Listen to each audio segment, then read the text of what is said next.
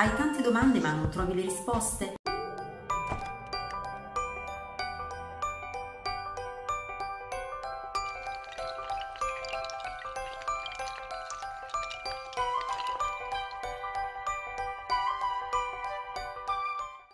Officina delle domande è il nostro nuovo progetto, una rubrica mensile ideata per supportare genitori, insegnanti, operatori impegnati con l'infanzia e l'adolescenza.